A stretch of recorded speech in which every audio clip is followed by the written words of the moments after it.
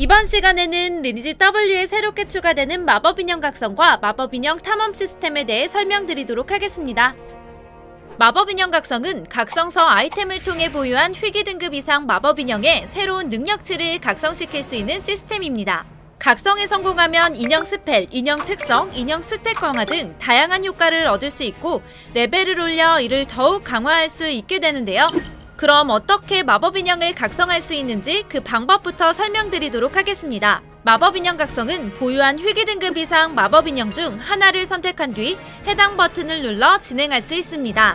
여기서 각성 성공 시 획득 가능한 능력치와 소모 재료를 확인한 후 버튼을 눌러 각성을 진행할 수 있는데요. 마법 인형에 따라 서로 다른 필요 재료와 성공 확률을 가지고 있으니 이 점 유의하시기 바랍니다.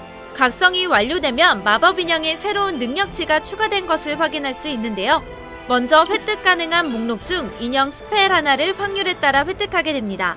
마법 인형에 따라 획득 가능한 인형 spell이 다르며 원하는 spell을 획득하지 못한 경우 마법 인형 성장 버튼 spell 각성 메뉴에서 재료를 소모하여 다시 획득을 도전할 수 있습니다. 또한 인형 stat이 강화되고 인형 특성이 활성화되는데요. 이는 마법 인형의 레벨을 성장시켜 더욱 강화할 수 있습니다.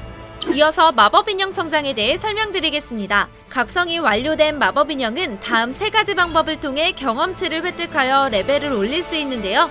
한 장 이상 보유하고 있는 회계 등급 이상의 마법인형 카드를 소모하는 방법, 경험치를 획득하려는 마법인형을 소환하고 사냥하는 방법, 그리고 곧 설명드릴 마법인형 탐험 보내는 방법을 통해 경험치를 획득할 수 있으며 특정 구간에서는 돌파를 진행해야 레벨을 올릴 수 있습니다.